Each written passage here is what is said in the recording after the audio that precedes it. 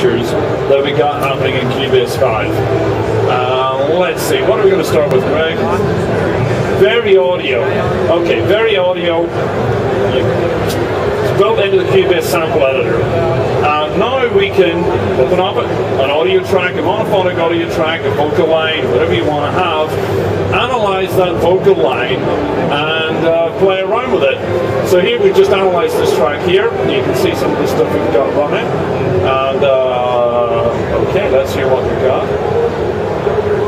These are our vocal lines. We can see what the pitch is. We can see what the vibrato is.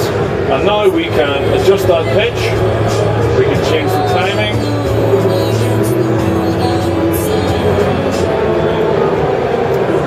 So we've got a completely real-time pitch changing analysis for vocal correction. We can do that, of course, chromatically.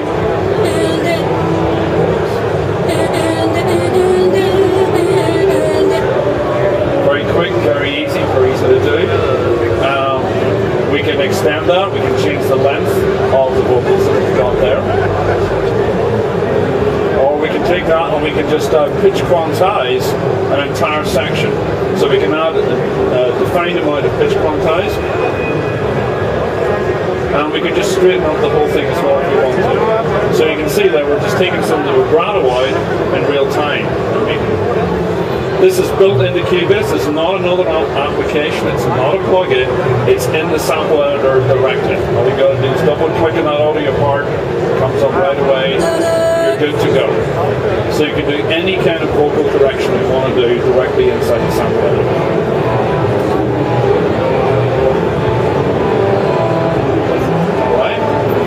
We also have uh, a, a, pitch correction plugin. We do real-time pitch correction plugin. Um, we want to bring that up. Here we go. Here's a real-time pitch correction. We can set up what kind of scale we want. We can set up whether we want female or male voices, formants, and it will just do all of that in real time straight in the plugin. So if you don't want to go into the sample editor and move everything around individually, you just insert the plugin and you're done. Really easy, really quick, very simple. It's the way you like to have it. So you've got the choice of having it straight away in a plugin, real time, or you can go to the sample editor and tweak every little tiny part of it that you want to have. All right. So what else have we got? Reverence. Reverence. Okay. This is a wonderful thing. Reverence is our new reverb. It's a convolution reverb. That is, it's basically a sampling reverb and uh, we have over 70 presets built into Reverence. It's a VST3 plugin, so we can pick a preset here. Let's try small hall. You can see that is the, the sample of the hall we're going to be dealing with. There's a picture that shows what we got. We can browse through different things. Let's take a martial arts stadium, a Viennese hall, wooden church, whatever you want to have. And uh, we can even get information on where that original sample was taken. You can if you want your sound to be inside, you know, a New York ballroom, there we have it. We click on the information button, you'll see that, um, up here, in the middle there, Greg. Yeah, click it. Just uh, hit that one. There we go. Now we can see what that is. It's a grand ballroom located in New York City. The entire floor is carpeted. You get a powerful low frequency reverb. It will describe exactly what that room is, and it will sound like you're playing in that room. Uh, like I said, we have about 70 different presets. You can also time scale the reverb, so you you can actually extend the reverb sound or narrow it a little bit. Um, you can, uh, here we go, we can just time scale that a little bit. And you'll see that the, the reverb tail gets longer or shorter. You can also import your own impulses. So if you have impulses you've taken in a favorite room, you can even get impulses from other reverb units, you can import those directly in there, and it's good to go. It sounds beautiful. It's a really, really, really good reverb. It's as good as anything I have ever used, and I've used a lot of reverbs. Uh, it's also, because it's VST3, it's surround. It's a full convolution surround reverb. And again, it's not an external plugin, it's built into Cubase. It's right there. You don't have to go out and buy something else. It's a wonderful thing. Great, great plugin. So we love that. That is a wonderful thing. Right, so what else we got? Inner instruments. Oh yeah, Groove Agent 1. It uh, looks like an MPC, Feels like an MPC, works like an MPC. I'll even read MPC signs. It's a new sampling drum machine built in the Cubase. We get a bunch of pads here. We have a load of different presets you can load inside it. You can drag an audio track straight onto it. You can slice up an audio track, drag it onto the drum machine, and we'll put each slice on a different pad. So it will create drum machines out of an audio track.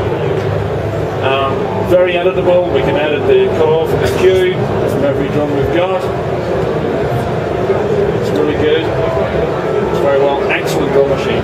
And the presets coming with it, the samples we have come with it, really, really good quality sampling quality. I love it. Really good. Okay. What else have we got then? Uh, oh, let's uh, let's have the LoopMash. All right. This Christmas, this is the toy that Santa brought me, and it's one of the greatest toys ever. I love this thing. It's called Match. It's an eight-channel loop player. Big deal, right? Eight-channel loop player. How can that be so cool? It's deceptively simple. What it will do, slice any loop I put into it, and then using a very sophisticated AI algorithm, it will play back those loops and create new sounds for me. You see these faders here? These are not volume controls. What those faders do is they tell Cubase to play more or less slices of that particular track. So I can take slices from one track, slices from another track, slices from another track, and it will play parts of each slice, different slices, and create new loops out of the loops I have in there. It's easier to play. I can take an hour to explain it, or you spend 30 seconds on it, and it's fabulous.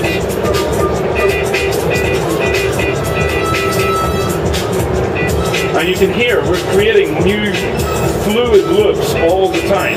It makes loop creation, rather than being a static thing, you just play back a basic loop, you can actually in real time create whole new grooves as you're working. It's a wonderful, wonderful project. I love it. We can also uh, put presets on these pads and then just trigger different presets by clicking on the pads.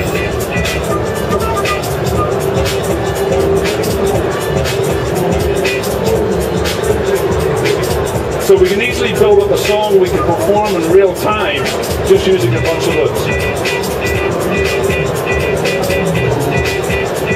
There's uh, each channel has its own output in the Cubase mixer, so we have eight stereo outputs in the mixer.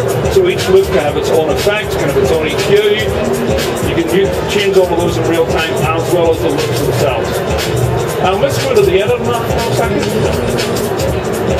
We go in here, we can uh, edit button. Yeah, there we go. We can change the number of voices per track.